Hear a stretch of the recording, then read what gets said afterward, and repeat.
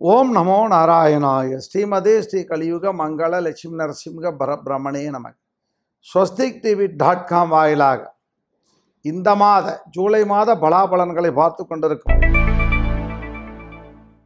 கன்னியாராசி அன்பர்கள் அத்தனை பேரையும் அடியேன் நமஸ்கரிக்கிறேன். இந்த மாதம் எப்படி?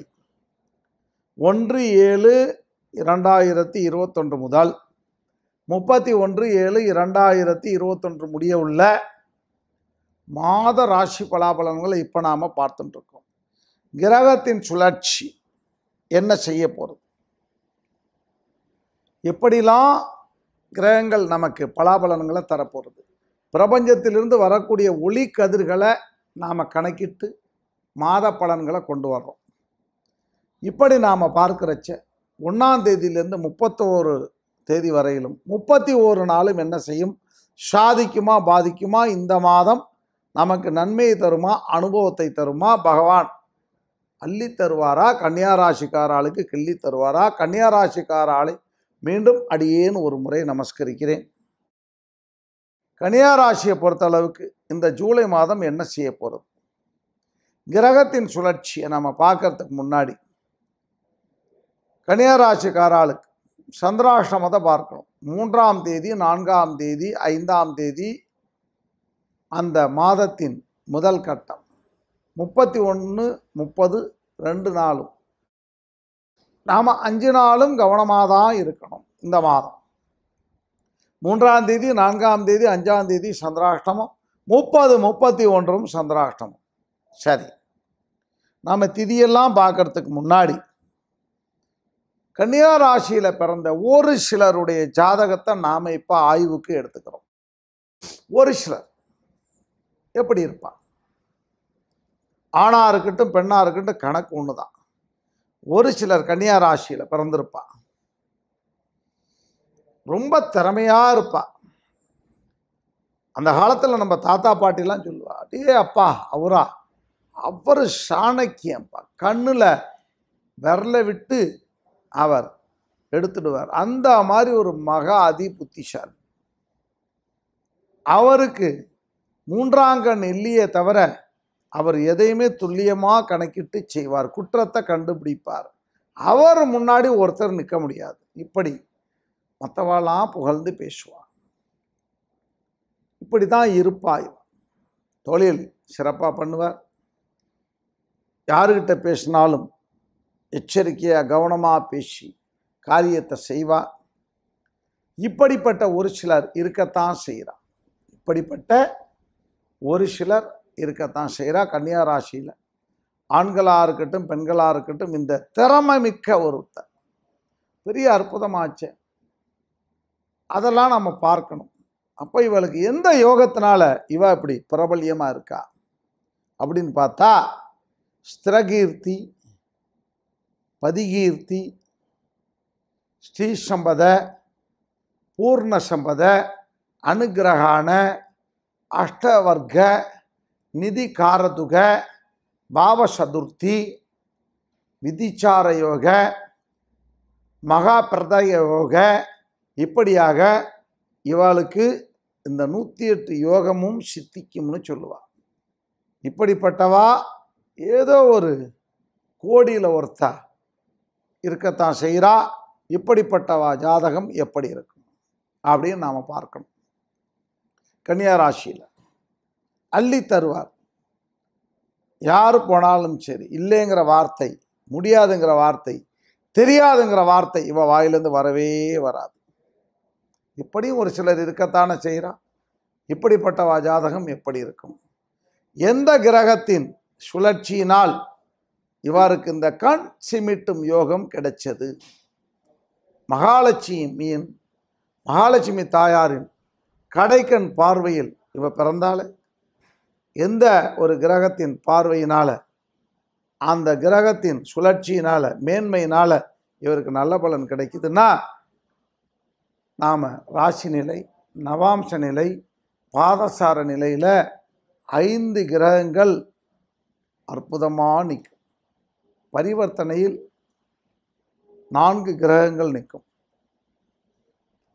இதற்கு அதிமுக்கியமாக குரு பகவானின் நட்பு கிரகமான குரு பகவான் சந்திர பகவான் செவ்வாய் பகவான் ராகு பகவான்.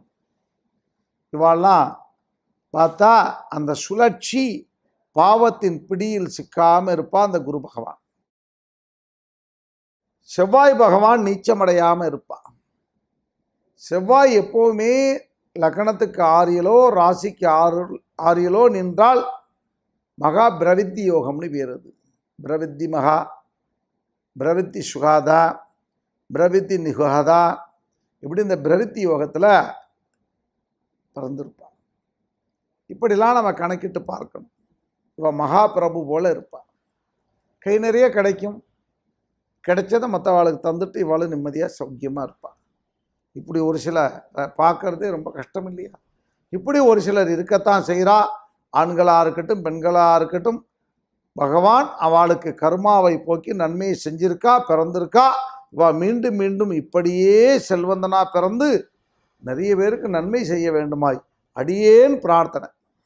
இப்போ நாம் கன்னியாராசிக்காராளுக்கு இந்த மாதம் எப்படி கிரகத்தின் சுழற்சி எப்படி இதை நாம் பார்க்க போகிறோம் சந்திராஷ்டமம் மூணாம் தேதி நான்காம் தேதி ஐந்தாம் தேதி முப்பதாம் தேதி முப்பத்தொன்னாம் தேதி இந்த ஐந்து நாட்களும் நாம் கவனமாக தான் இருக்கணும்.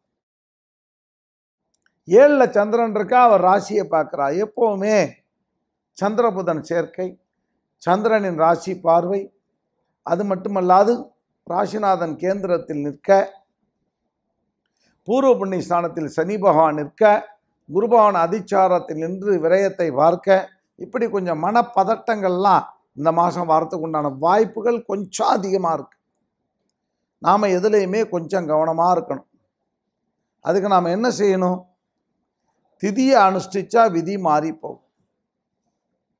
ஜூலை மாதம் ஐந்தாம் தேதி திங்கட்கிழமை ஏகாதசி திதி. ஒரு நேரம் பட்சண பலகாரம் சாப்பிட்டுட்டு எம்பெருமான் ஸ்ரீமன் நாராயணனையும் பத்மாதி தாயரையும் சேவிச்சுங்க கஷ்டம் விலகும் ஏழாம் தேதி பிரதோஷ காலம் ஏதேனும் ஒரு நரசிம்மர் கோயிலுக்கு போங்கோ அல்லது சிவபெருமானுடைய கோயிலுக்கு போய் நந்தீஸ்வர பகவானை சேவிச்சுங்கோ பல தொல்லைகள் நீங்கும். ஒன்பதாம் தேதி வெள்ளிக்கிழமை அமாவாசை. அன்றைய தினம் பிதிர்கள் ஆணி மாத அமாவாசை வெள்ளி அமாவாசை கிடைக்காது. அன்றைய தினம் பிதிர்கள் கையேந்தி நின்னா அவளுக்கு பசுக்கள் மூலமாக காகத்தின் வாயிலாக பைரவரின் வாயிலாக அவளுக்கு ஆத்ம சாந்தி ஏற்பட நாம் நல்லது செய்யணும். என்ன செய்யணும்? பசுக்களுக்கு அன்றைய தினம் நாம் பச்சை கறிகாய்களை சாப்பிட தரணும் பழங்களை சாப்பிட தரணும். வாழைக்காய் அகத்திக்கீரை கொஞ்சம் கவலைச்சாதம் தரணும். அப்போது பசுக்கள் உண்டால் பகவான் உண்டது போல முன்னோர்கள் ஆத்ம சாந்தி பெறுவா. அவன் நம்ம ஆற்றுலேயே வந்து பிறப்பான்.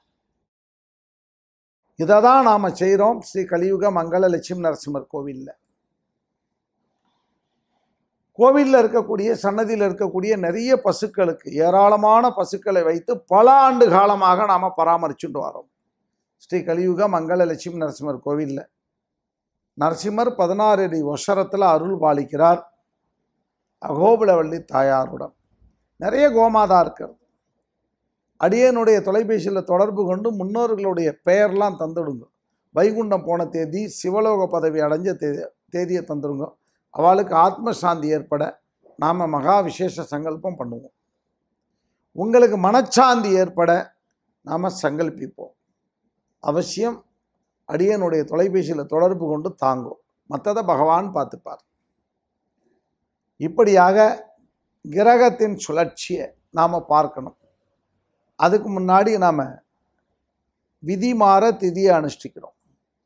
பதிமூணாம் தேதி செவ்வாய்க்கிழமை சதுர்த்தி திதி பதினஞ்சாம் தேதி வியாழக்கிழமை ஷஷ்டி திதி இருபதாம் தேதி செவ்வாய்க்கிழமை ஏகாதசி திதி மீண்டும் இருபத்தி ஒன்றாம் தேதி புதன்கிழமை பிரதோஷ காலம் இருபத்தி மூணாம் தேதி மிக அற்புதமாக ஆடி வெள்ளி அன்னைக்கு ஆடி வெள்ளி அன்னைக்கு பௌர்ணமி திதி. தாயாருக்கு ரொம்ப பத் அம்பாளுக்கு விசேஷமான நாள் அது வெள்ளிக்கிழமை.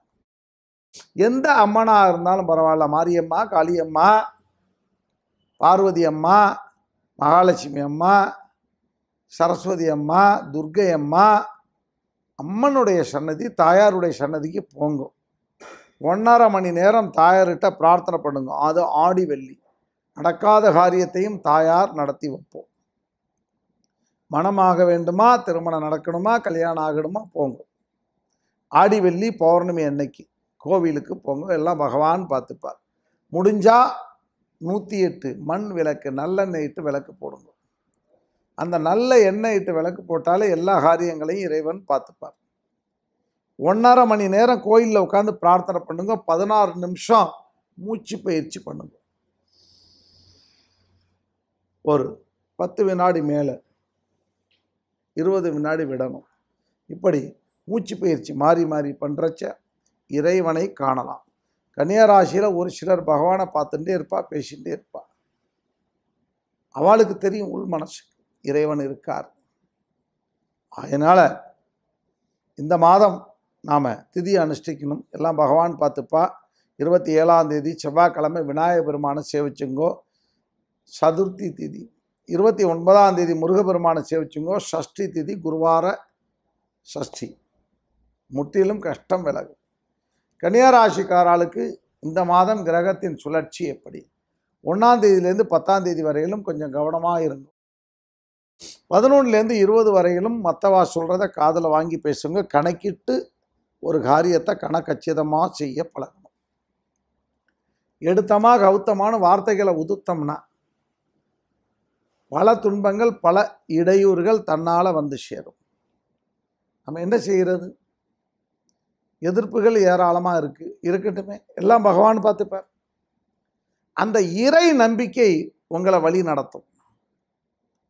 இயற்கையில் தான் இறைவன் இருக்கா? இதை நாம் முதல்ல உணரணும். மற்றவாளுக்கு தெரியுமே பகவான் பஞ்சபூதமாக காட்சி கொடுக்குறாரு. நிலமாக நீராக மண்ணாக இப்படி பகவான் ஐந்து விதமாக காற்றாக அந்த இயற்கையுடைய பேரழிவு என்ன பண்ணுது? ஒரு சிலரை வைகுண்டம் அனுப்பிச்சுடுது நாம் என்ன செய்யணும்? இயற்கையின் சீற்றத்திலிருந்து நாம் மீள்றதுக்கு பக்தி பிரார்த்தனை அவசியமான ஒன்று இயற்கையோட சீற்றத்தை தாங்க முடியுமா? புயல் காத்தடிக்குது நீர்னால சுனாமி வருது நிலத்தினால பூகம்பம் வருது அக்னி பிளம்பு வருது தீ பிடிச்சிக்குது. இதெல்லாம் ஒரு கண்டம் தானே? இதுலேருந்து நாம் மேலிடமே எல்லாம் பகவான் பார்த்துப்பார். இந்த மாதம் கிரகத்தின் சுழற்சி. கொஞ்சம் பின்னடைவாக தான் இருக்குது கவலைப்படக்கூடாது எல்லாம் பகவான் பார்த்துப்பார். கன்னியாராசிக்காராளுக்கு இந்த மாதம் கொஞ்சம் மாத கடைசியில் இருபத்தி ஒன்றுலேருந்து இருபத்தி ஒன்பது வரையிலும் வெகு அற்புதமாக இருக்கும். வேலை வாய்ப்புகள் கிடைக்கும். வெளியூர் வெளிநாடு பிரயாணம் நன்மை தரும். மன மகிழ்ச்சி கிடைக்கும். மன போராட்டம் குறையும். இப்படியாக இந்த மாதம் நாம் மிக கவனமாக இருக்க வேண்டிய மாதம் இது. தெளிவாக காரியத்தை செய்யுங்கோ எல்லாம் பகவான் பார்த்துப்பார். இந்த மாதத்தை பொறுத்த அளவுக்கு நூறு சதவீதத்துக்கு ஐம்பத்தி எட்டு சதவீதம் பூரண பரிபூரண சம்பூரண பலன்களை பகவான் தர்றார். நூறு சதவீதத்துக்கு ஐம்பத்தி எட்டு சதவீதம் நல்லதே நடக்க போகிறது உங்களுடைய அதிர்ஷ்டங்கள் இரண்டும் மூன்றும் ஐந்தும் எட்டும். ஓம் நமோ நாராயணாய.